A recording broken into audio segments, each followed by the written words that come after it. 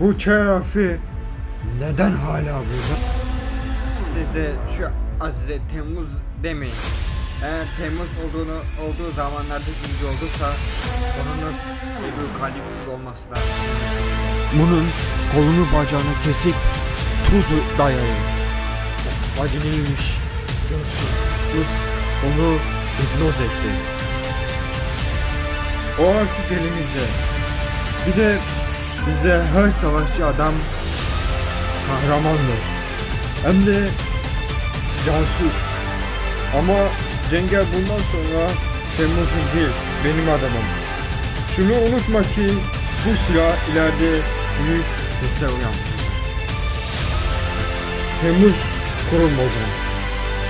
Mısır'da ve burada ne yaptığınızı biliyorum. Bana o mektupta ne yazdığını söylersen söyleyin ki derhal içimizdeki aynları temizleyelim. Aldığınız her kanın hesabı bir gün sonra bir gün sen göremeyeceksin.